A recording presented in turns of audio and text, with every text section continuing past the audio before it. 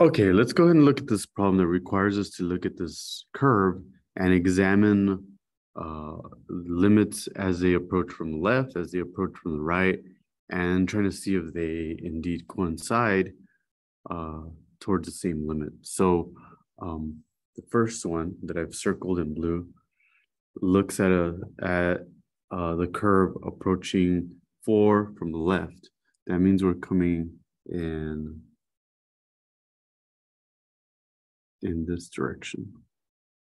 And you notice the output of that point is actually negative five.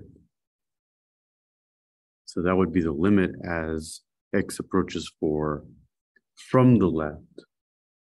Okay, let's choose a different color to differentiate now the limit as x approaches four from the right. So we're looking at the curve going in this direction. And uh, you notice that the output of that point is uh, one.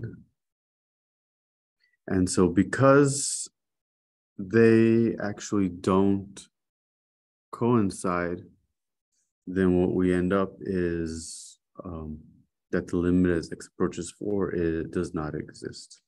And that's how you do a problem like this. If the two numbers do coincide and match, then that indeed is a limit. But in this case, they're different. So the limit does not exist.